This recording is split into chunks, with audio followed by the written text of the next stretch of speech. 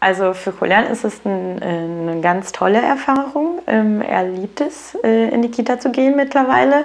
Er hat dort Freunde, er hat einen regelmäßigen Ablauf und er lernt auch viele Sachen. Er lernt zum Beispiel auch Deutsch, ähm, weil wir ja Spanisch zu Hause sprechen. Und dann muss er natürlich auch lernen, ähm, dass man nicht haut oder dass man nicht schubst, dass es vielleicht andere Regeln in der Kita als zu Hause gibt und so weiter. Also der Einstieg äh, war nicht so einfach. Ja, die Eingewöhnung hat so circa zwei Monate bei uns gedauert. Am Anfang war nur eine Stunde und dann musste ich auch dabei sein, bis sie dann dort schlafen können und sich ans Essen gewöhnen und so weiter. Hey. Anita?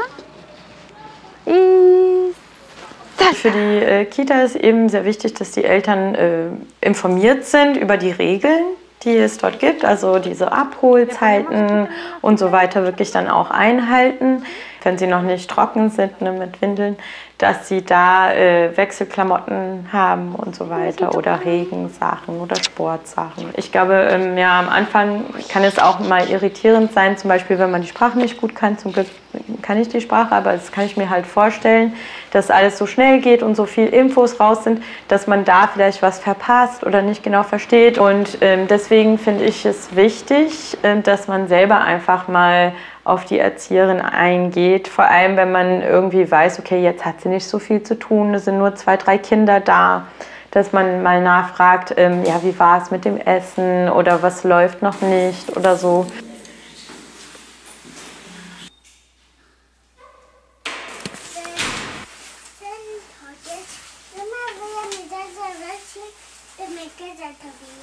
Ah, ja. Voglio gordito la chaqueta. Zum Glück habe ich mir so ein bisschen Netz aufgebaut ähm, von Leuten, äh, die mal kurz auf Julian aufpassen können, wenn ich mal einen extra Termin habe. Das ist ganz schön und manchmal nehme ich ihn aber auch einfach mit.